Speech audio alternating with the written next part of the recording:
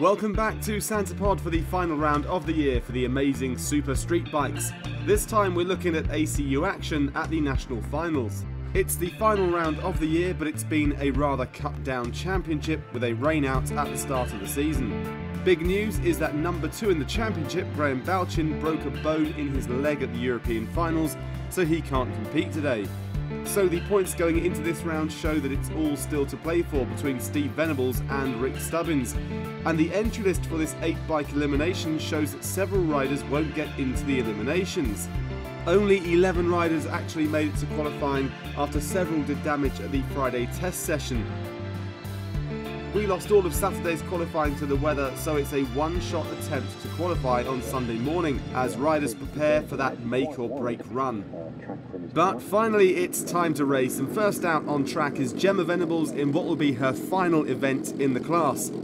She's taking on the first half of a father and daughter team. That's Bianca Nilsson from Sweden. And, ah, oh, no, no problems for Gemma off the line. Bianca putting in a stout first pass Gemma sits up and quite possibly won't get into the field. 11 bikes are trying to qualify for just 8 places, remember. Steve Venables will have just seen his daughter put in that 10 second pass, but he's chasing the title and needs to keep his head in the game. He's taking on Steve Wood in the coalfire lane. Neither man can make any mistakes off the line, but it's Ven putting in the quicker run here. Oh, he really means business. A 7.18 at 202 to Woody's valiant 8.29 but he'll have to wait until eight bikes have run to see if he'll make the field.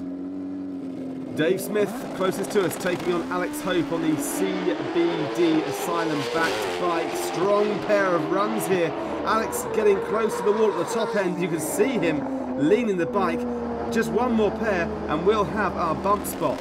Mark Dainty closest to us. That's Matthias Bolin from Sweden. It's a long way to come not to make it into the field, so he'll be really trying. and wow, look at that, a 7.34. I think he'll be safe in at number two for now. Chris Reed with a 2-2 and Robert Nilsson without the 2-2 need to run 8.29 or quicker to bump 8th place Steve Wood out of eliminations. Bit of a stutter for Boyce to give him his proper title, but Robert's on a flyer. Wow, a 7.27 for Robert puts him at number two. Boyce is not in the show. Last man to run is Protac Racing's Rick Stubbins. He's already crowned FIM European champion, but he's also chasing ACU glory. A good run here for Rick nets him number two spot, bumping out Steve Wood.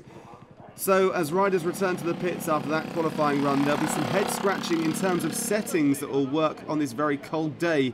And with so much to get through today, the turnaround times between rounds will be very short indeed. And unfortunately for a few riders, they'll be packing up and going home because they didn't qualify for the field.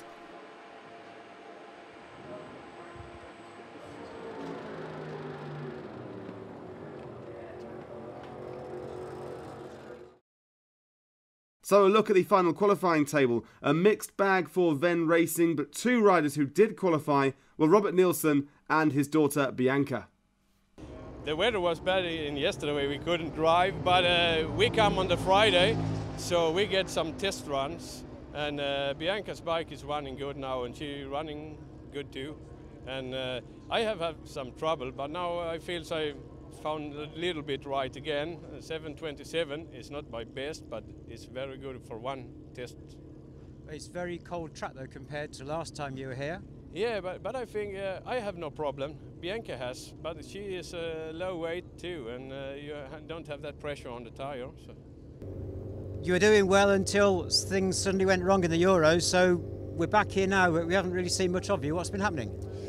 Um, at the Euros, it, um, a big end failed. We, I've got the engine out and got it stripped, and the big end failed on that one. So, I mean, that's one of those things. We're pushing it hard. Um, this one, uh, it was a new engine. It done one run. Everything was good. We we turned it we turned it down a little bit for it because it because it was a test there. We, we, put a 720 setup in, and it went 720. Then we come out on the next qualifier, uh, the next um, test test, and uh, we got to three quarter track, and it just lost all the oil pressure and done exactly the same thing again, which is a different problem. But for some, until I get it out and have a look, I'll, I won't know. But it, um, it threw a rod again.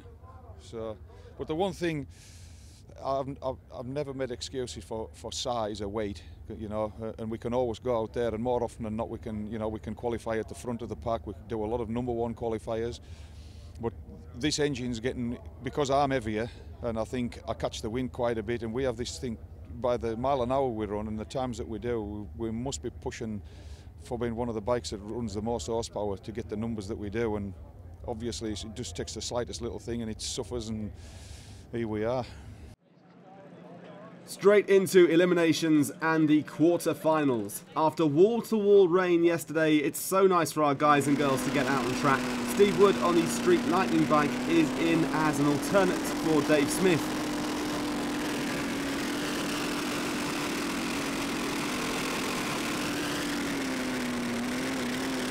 Big burnout there for Robert Nilsson taking on Steve Wood, who's our number nine qualifier. Steve lifting the front wheel at the hit, not what he wanted against a rider of Robert's caliber. Robert powers on through to take the win with a 7.31, putting an end to Steve's day. Well, Bianca Nilsson has a mountain to climb here, taking on defending ACU champion Rick Stubbins. Oh, but she goes too soon, pulls a cherry on the tree, handing the automatic win to Rick. Has he seen the win light in the Autoglym lane or does he have problems? Well, he takes the win with an 8.21. Good speed for Bianca though. Current points leader Steve Venables needs to go rounds if he's going to take the 2018 championship. First rider to stand in his way is Mark Dainty on the Bornsby Wild bike and both men lightningly quick away, but Mark's fighting the bike, trying to keep that front wheel down. Meanwhile, Steve Venables powers on through to take the win with a 7.1 at 194 to Mark's valiant 779. Last pair out, and it's Sweden's Matthias Bolin closest to us, and Alex Hope on the CBD Asylum bike. And wheels straight up in the air for the Hope Racing bike and Matthias is off and away, maintaining that lead and taking the win with an impressive 7.18. It's a much colder track than we've had the rest of the year though. Did you notice any difference? Yeah, it um, actually spun up at uh, the 334 and um, I had to get off it and, uh, and basically if it weren't for her red lighting I'd have been out. So it was a lucky run. Well, it's very, very close. I think it's still about 20 points in it, so you can't have any more mishaps like that. It must, it must make you think, what am I going to do for the next tune? Yeah, well, just a, a tiny bit more, try, try a bit more. But yeah, it's, it, it's uh, between me and Steve Venn. Uh, whoever gets through the furthest in the competition will take the championship.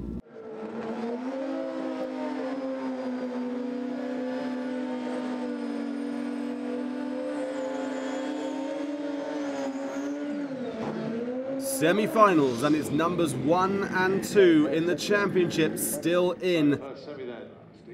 First up, it's Steve Venables with backing from DME taking on Matthias Bolin. Two very quick bikes here. It's a green light drag race, both riders fighting to keep the front wheel down. Has Steve done enough? Yes, yes, he's done it. He takes the win at 7.2 in one of the closest races of the season. Well, that puts the pressure back onto Rick. He has a very tough competitor in Robert Nilsson. If Rick loses this race, the championship goes to Steve Venables. Both riders away cleanly. This is one heck of a race. And at the stripe, it's Robert who takes the win. So Steve Venables is the 2018 ACU Super Street Bike Champion with Rick at number two. Well done to Ven Racing. So that still leaves us with the event win to be decided, and that is between Steve Venables and Robert Nilsson. Both men put in very strong qualifiers and have been consistent in eliminations. Last run of the season then, and it's Steve taking on Robert. It's Steve with a 0.5 reaction time. He's pulling out the lead. Robert's chasing hard, but it's Steve who takes the win with a 7.14 at a stunning 204 miles an hour. Handshakes from the crew. It's been a hard fought season here at Santa Pod, and at the last ACU round of the year, it was Steve Venables who was able to get the job done. Um, it gives me the British Championship, it gives me the uh, the Santa Pod Championship, and obviously the event win. So very happy with that.